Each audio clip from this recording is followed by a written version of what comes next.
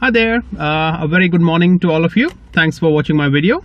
Uh, today I'm responding to one of the questions raised by Shruti uh, and her question was how does blockchain play a role in product recalls in the pharmaceutical industry?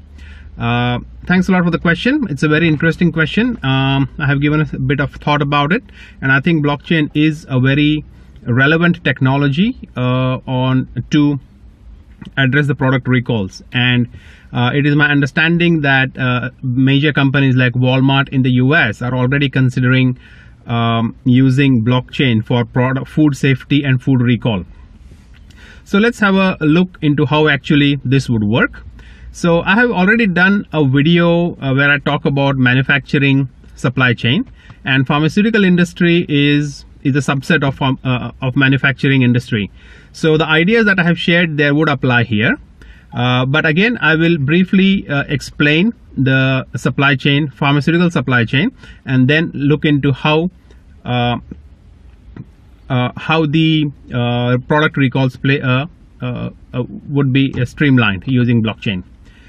Okay, so let's start. The first step within the pharmaceutical supply chain would be the chemical suppliers who who supply the uh, ingredients that are necessary or that are required to build uh, to, to make or manufacture a drug so the first point of data collection in the pharma industry would be uh, this uh, would be these first tier suppliers who supply these uh, raw raw materials to the pharmaceutical industry or the pharmaceutical plant the second step would be when this arrives at the pharmaceutical plant where these would then be processed and manufactured into tablets, syrups, syringes, whatever, uh, whatever it might be.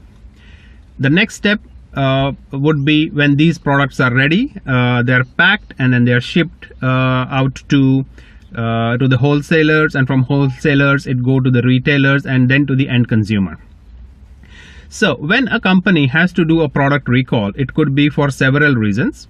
And one of the important, especially in the pharmaceutical industry, it would be the case because the drug is unfit for its purpose and it may have some adverse reactions to uh, to the patients, or it could be any other reason uh, why that the company wants to uh, do a recall. It could be the product was uh, one of the batch was contaminated or something of that sort.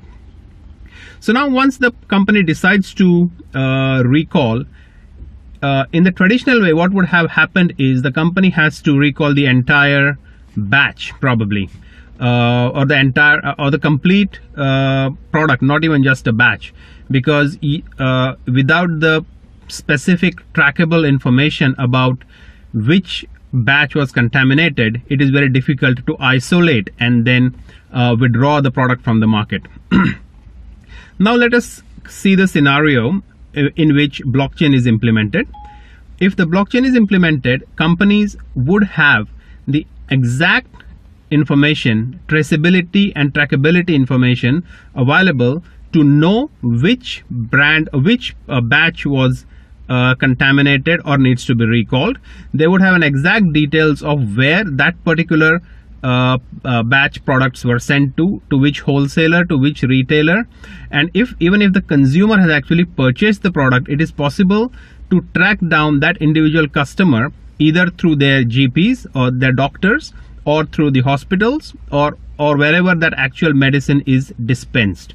So having that level of uh, information tra- traceability information to uh, the companies it is it becomes realistic and practical to uh, to achieve a product recall at the best possible uh, best possible rates uh, to avoid any further uh, any further uh, repercussions based on based on this.